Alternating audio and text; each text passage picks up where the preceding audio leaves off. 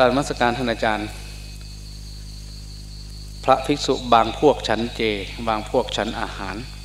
ถามมีถามได้ขอทราบว่าพวกไหนถูก หรือเหมาะสมถูกต้องอย่างไร ขออนุโมทนา พระภิกษุในพุทธศาสนาของเราเนี่ยเรื่องการกินเกือบไม่มีปัญหาเพราะว่าอยู่ที่มือของชาวบ้าน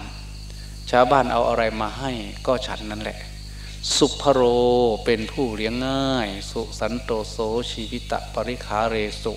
สิ่งที่ฉันไปนั้นเรียกว่าอาหารเนี่ยถูกแล้ว อาหารก็แปลว่าสิ่งที่หล่อเลี้ยงมหาภูทะลูกให้ตั้งอยู่ได้ ถ้าเขามีเจมีมังสวิรัตก็จะไปเรียกร้องหาเนื้อ ก็ฉันเจฉันมังสวิรัตถ้าเขามีเนื้อ ก็ฉันตามที่มันมีนั่นแหละ มันคนละอันกันเราฉันอาหาร พระพุทธเจ้าว่าเมื่อเราฉันอาหารกินเนื้ออะไรอยู่ก็ตาม ถ้าไม่ได้เห็นเขาฆ่าไม่ได้นึกรังเกียจในการกระทำอันนั้น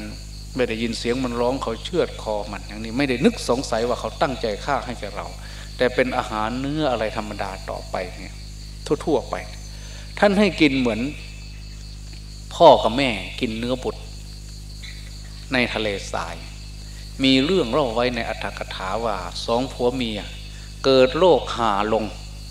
โรคอหิวาเขาเรียกโรคหาตายหมดทั้งบ้านทั้งเมือง นึกถึงเพื่อนอยู่อีกเมืองหนึ่งแต่อยู่ฟากทะเลทราย ก็ได้ลูกน้อยคนเดียวอุ้มข้ามทะเลทรายไปพออุ้มไปอุ้มไปที่นี่น้ำกินก็หมด อาหารก็หมด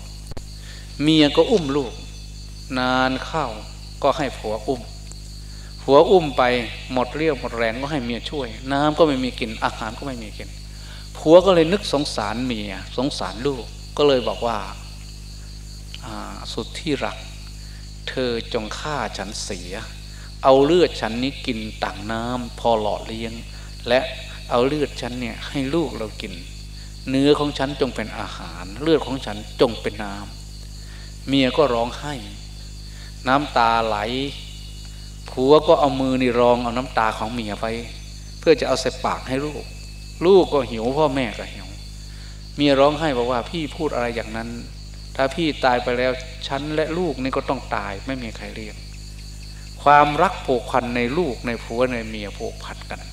ไปอีกสักพักหนึ่งเมียก็ประรบขึ้น พี่จงฆ่าฉันเถิดเอาเลือดของฉันเป็นน้ำให้พี่และลูกกิน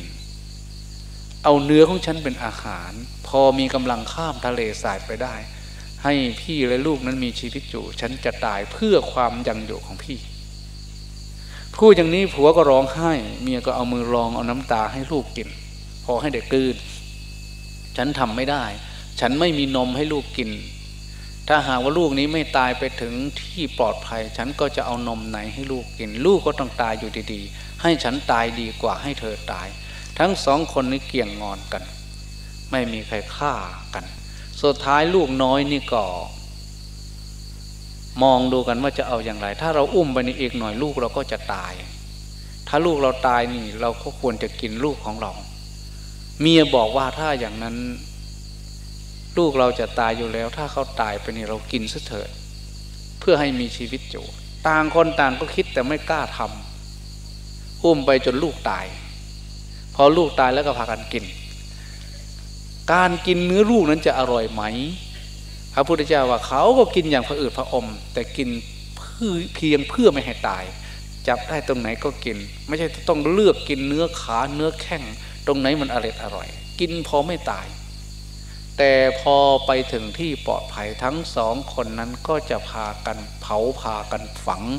ร้องห่มร้องไห้อะไรอาวรกินไปร้องไห้ไปพอฝังแล้วเผาแล้ว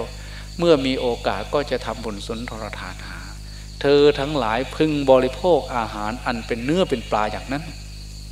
ในทางพระธรรมวินัยไม่เคยมีว่าให้พระต้องเว้น ที่นี้คำว่าเจเจเจนี่ก็เป็นคำใหม่ เป็นภาษาจีน ภาษาบาลีคำว่ามังสวิรัตนี่ก็ไม่มีอีกแหละในพระไตรปิฎกหาไม่พบอีกเหมือนกัน ทีนี้เจนี่เป็นภาษาบาลีมี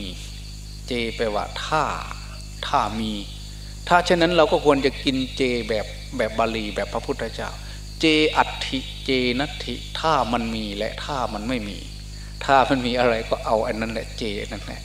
เป็นอันว่าไม่ต้องทะเลาะไม่ต้องมีปัญหาตามมีตามเกิดชีวิตของพระสงฆ์องค์เจ้าอยู่กับชาวบ้าน